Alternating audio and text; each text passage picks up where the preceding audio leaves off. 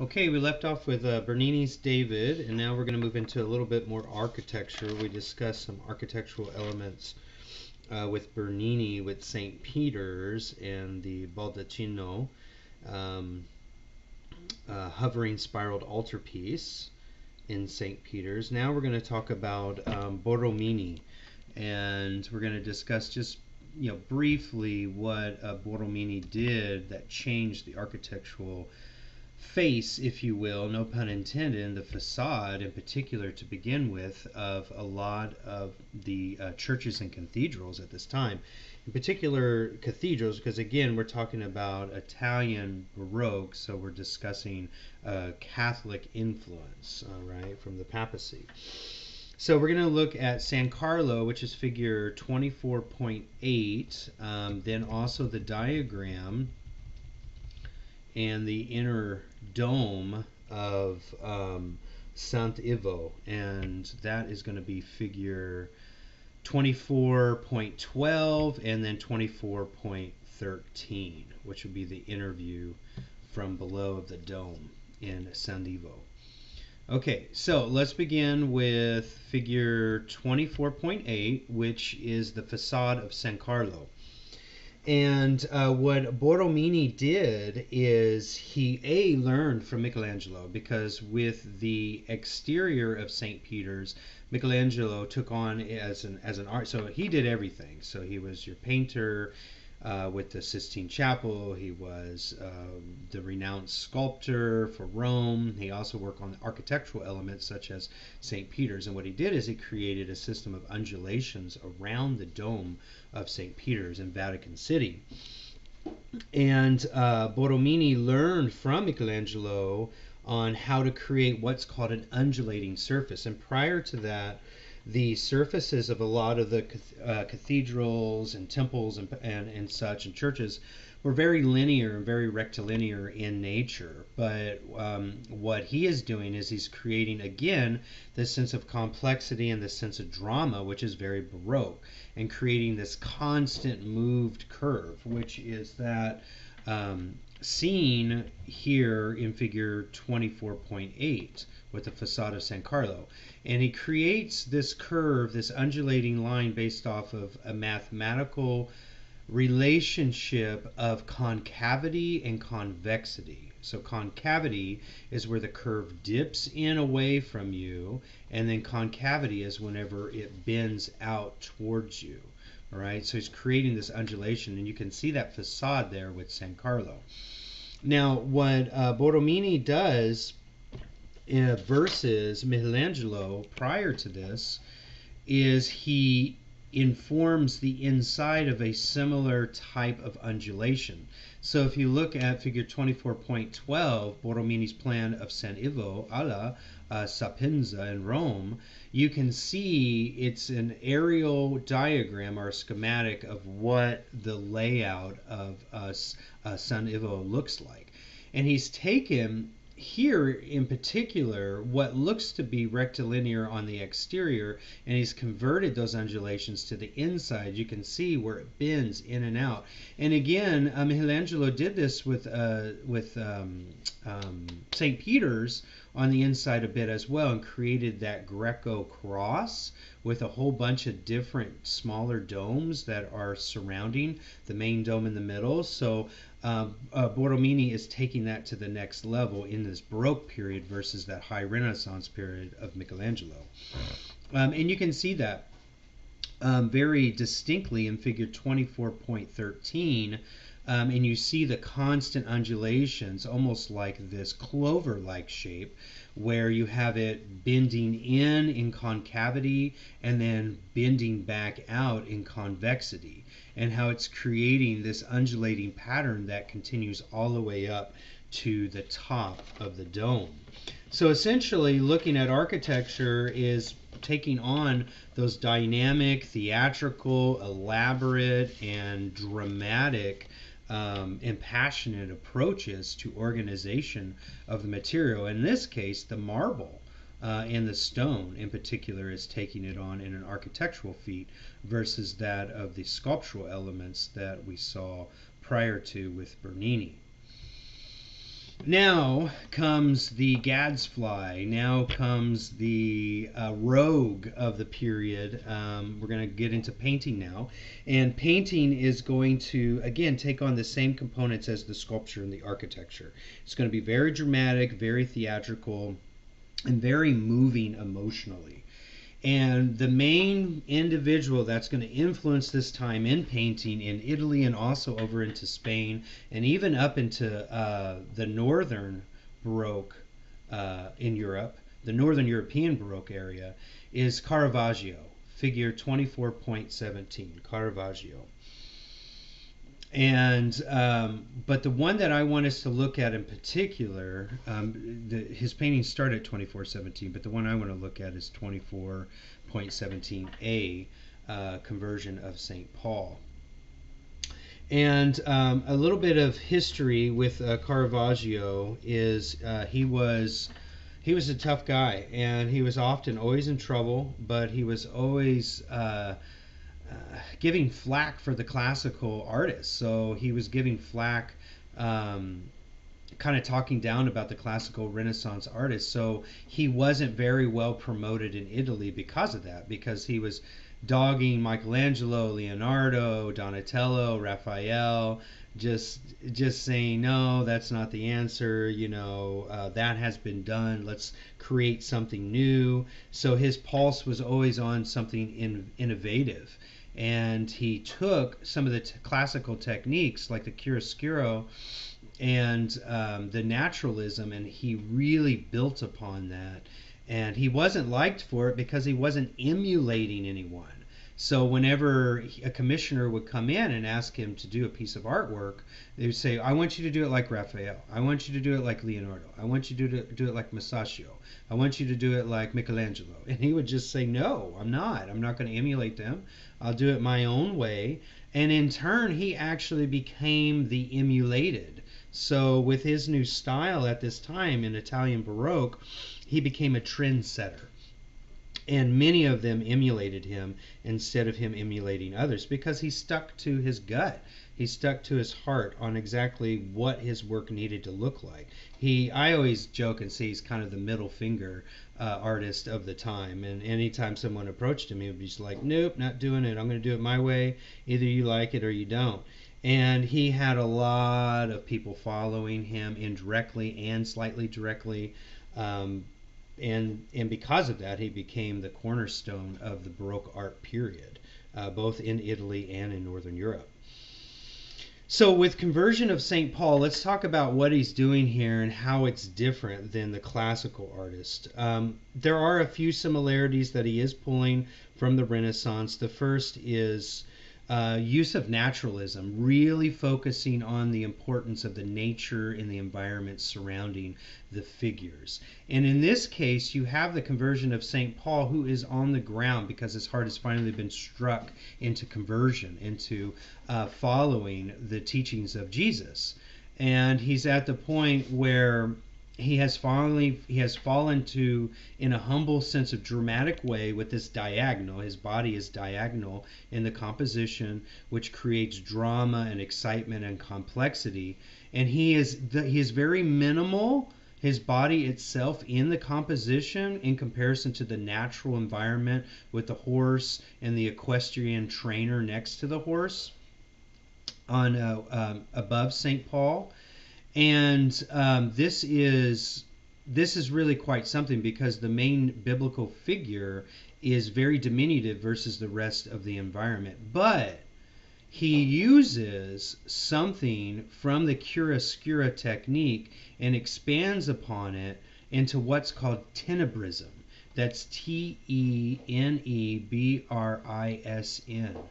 And by using this expanded and more elaborate and dramatic use of shifting of heavy light and heavy darkness, it focuses on the chest cavity and the arms of St. Paul, which highlights him and actually makes him a focal point.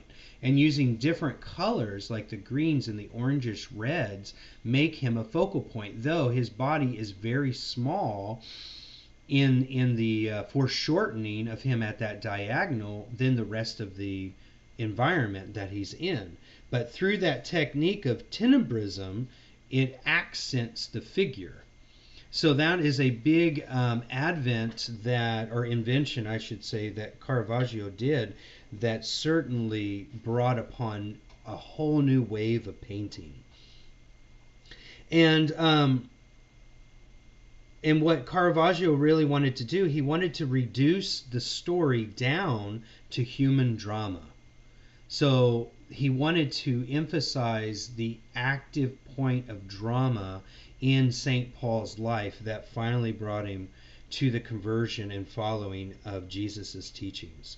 And by doing that, he's creating a very harsh and dingy setting.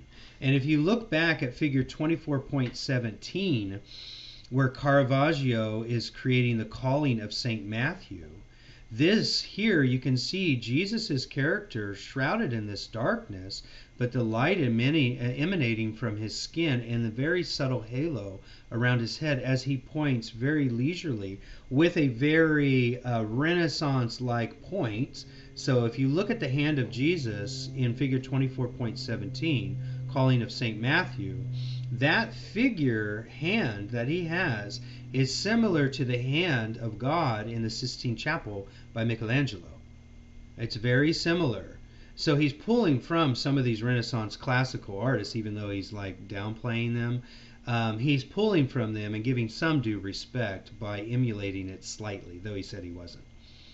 And then you can see St. Matthew at this time, a tax collector, is pointing at himself and he is highlighted in this light. Again, using this tenebrism to emphasize the spiritual awakening of the individual. So St. Matthew has now officially been converted into the calling of Jesus in figure 24.17 using this tenebrism. This highlight, like the spotlight, the spiritual spotlight, is now on him. And he has to act.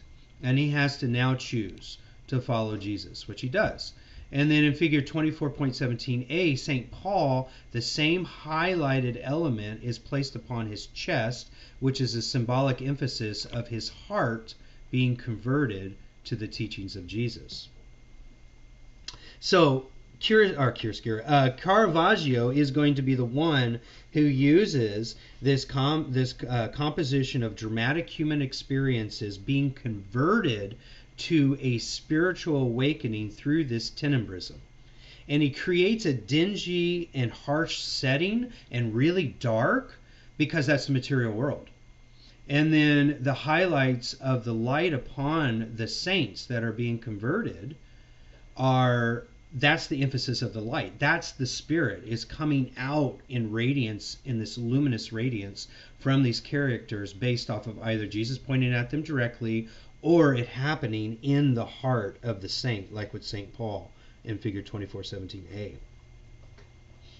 So, this tenebrism is considered a shadowy environment that shrouds the figure. So, Caravaggio is seeing how dark the material world is, and the only light is really your conversion to God through his proper teacher.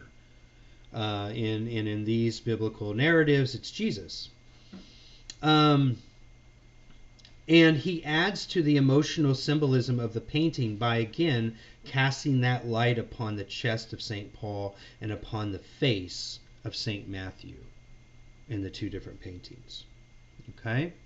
So remember Caravaggio. He is going to be the core, uh, the core influencer, if you will, throughout the rest of the Baroque time and even into the 1800s. And one of his followers um, is uh, Gentileschi, and uh, she is a prominent painter in uh, Italy that actually helped move and promote Caravaggio in Italy, even though the papacy and the papal states of Italy had they didn't want anything to do with Caravaggio. They thought his technique was too dark, it wasn't ornamental enough, uh, it was too violent. Um, but he was trying to emphasize how dark this world is without your love for God. And that's why he used that tenebrism. And Gentileschi was her father as an artist was very respected, and she became very respected as well. And um, she used these tenebrism techniques that Caravaggio had, and she learned from him. She studied from him. And she created this Judith slaying Holofernes, which is an Assyrian king, uh, polytheistic Assyrian king that was there to invade and um, and uh, he he wanted to seduce her. He ended up falling asleep. She comes into the tent and decapitates him. So the use of this violent scene is very important because it shows the light that comes out of the darkness. So Caravaggio, Gentileschi, and a lot of future painters are going to use these dark, dark environments and these violent, dramatic, theatrical themes because that is Baroque. And they're going to use these narratives to show the light that's going to be radiating and coming out of these acts. So you should notice by now a lot of these Baroque sculptures and paintings are in motion all right? It's acts that are in motion. You know, Paul fell off of his horse. Here, the decapitation of Holofernes is happening with Judith and her maidservant. Uh, so Baroque is all about that theatrical performance, and that's what's ensuing here. So uh, she, Gentileschi, is very interested in the nature and the drama, like Caravaggio. Um, because of her Italian success, it gave it gave respect to Caravaggio, even though he wasn't there. He had already been kicked out of Italy by this time. He literally was exiled out of Italy and I think a couple other countries too. Um, and that tenebrism here is creating a very tense and strained subject matter. And and there's a use of highlighted uh, light colors and an emphasis on action in the foreground. So the foreground is where she has her left arm pushing down uh, away from Holofernes' head as she's moving the blade of the sword with her right hand over uh, over his head. Um, so it just shows the sheer amount of strength that she has in her right hand to pull that sword towards the neckline and remove that head uh, not needing to use two hands but just one. So it shows the power and the dramatic emotion and the empowerment of uh, Judith um, at this time, which is which is a bit a very prominent biblical uh, character. All right. So there is an example of Caravaggio's influence. Let's deter just a little bit from the influence before we get into Spain, and let's talk about um, Gaulli, Gaulli, and we're going to look at in particular figure 24.23 and there's some really cool inventions that are being used here that I'll talk about that's a little different than uh, what we talked about with the tenebrism of Caravaggio and um, the, the so let me just break it down here this piece is called the triumph of the name of Jesus and remember, we still have the Catholic Church influencing all these commissions. Okay, so there's still very much reference based off of the biblical themes and uh, a Catholic symbolism in particular, and that's very present here. So one, um, he's painting on the ceiling. Okay, so the last time we saw the painting on the ceiling was with the Sistine Chapel with Michelangelo. And here uh, we have the ceiling uh, painted um, and what they're trying to do. Now, remember, the Catholic Church is trying during this Counter Reformation is to show the sheer elaborate ornamentation and elaborations on the, the dominance of the visual arts through the papacy, through the papal states, through the Pope, all right, through the Catholic Church. So they're doing all of these grandiose things to invite you back into converting into Catholicism and following the Catholic Church. So in this case, what they're doing is they are creating this illusionary opening into the heavens, into the celestial realm, by painting the center of the barrel vault in uh, Gesu by exposing it as if you're entering into the heavens, or the heavens is descending down upon us. Uh, so it's a very intentional choice to create uh, this ceiling pattern by having the center be painted as if you're opening up into the portals of heaven. Um, and it's very dramatic, so you can see that there's figures everywhere, and you have two different types of figures. You have figures in the center in the opening into the celestial realm that are ascending into heaven.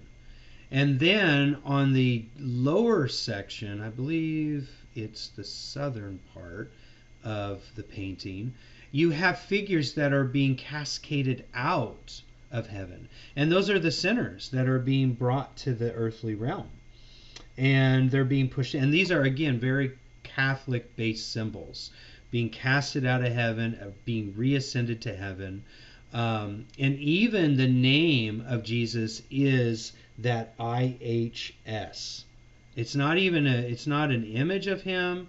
It's not. It, it is that IHS, which is that combination of letters in the Catholic Church that represent Jesus. So you will not see IHS in any Protestant churches or anything like that. You'll only see it in the Catholic Church. And so they have that highlighted in that heavy light if you zoom in in the middle of the ceiling painting. So that makes it uh, very Catholic. Also, the use of the gilded ceiling. So it's painted. The ceiling is painted, and it's painted in a way with gilded, you know, gold paint where you don't know where the painting begins and where the architecture is. So the architecture is painted with this gilded gold, and then it transitions up into the actual um, stucco fresco painting. And you should remember what fresco is. Fresco is where you place the plaster upon the architecture because it grabs because the calcium in the in the moisture. And then as it's drying, you add your pigments of a mixture of tempera and oil together. And then whenever it dries, it seals the oil pigment and the tempera pigment, and then it creates a crystalline structure and it allows it to look vibrant and luminous for years and years, hundreds of years down the road, still to today. So it's a fresco painting, but the gilded gold paint is literally just gold paint that's been placed upon the architecture. So you don't know where the architecture begins and where the fresco painting begins, or ends and begins. Um, and then uh, Golies did one other new invention, which is so the ceiling exposure into the celestial heavenly realm is one. And then the second, so that would be real quick if you're standing and looking right up and you're looking as if you're viewing right into heaven. And then the second invent is that he glazed the gilded archways to make it look like they're shadows casted from heaven. So if you look and you zoom in, there are areas around the fresco central painting that are a little darker that you would think is the sunlight coming into the cathedral that's creating those those color shifts, but it's not. He's using what's called a glaze, which is something that helps seal the paint over the top of the gilded paint on the architecture to give this shadow line. And that shadow line is playing off of the celestial activity in the middle of the ceiling. So he's glazing the architecture that has the golded or the gilded paint on top of it, which gives it a whole new dimension. So you have three dimension of the architecture moving into an illusionary three dimension of the glazed gilded paint on the architecture, which darkens the gold, then into the fresco two dimensional illusion of ascending or descending in and out of heaven. All right, so it's moving from three dimensional realm to the celestial realm and then back to the three dimensional realm, with the bodies being cascaded out of heaven because of their sins. All right, I'll leave you at that, and then I'll do we'll do one more video on this chapter in regards to Spain, and we're going to focus heavily on painting with Spain in particular.